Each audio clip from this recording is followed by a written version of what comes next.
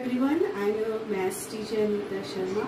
In this video, we will discuss topic division. Division is equal grouping or distribution of given quantity. I will explain division by an example. 346 divided, divided by 4. 346, this is the sign are putting here. So the divisor is coming here. This is division. Now uh, I will start dividing this. 4 8 is a 32. Here we are doing minus. 4 minus 2 2. 3 minus 3 is 0.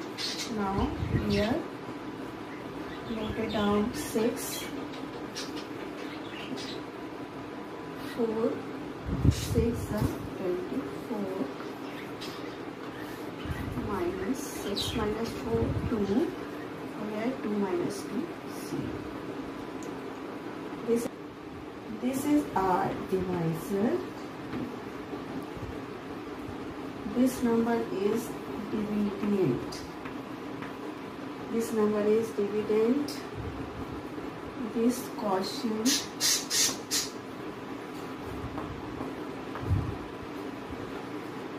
remainder. This.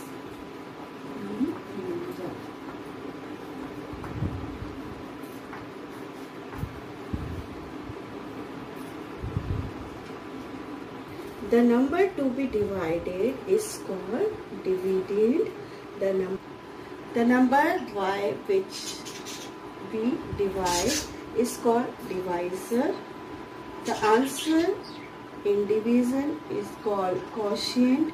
The number that is left over is called remainder.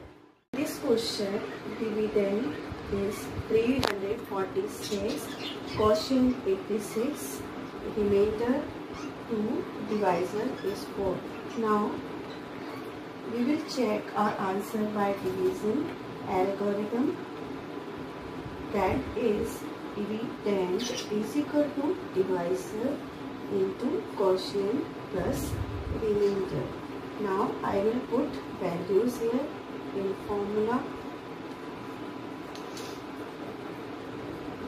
Divisor 4, quotient is 86 plus remainder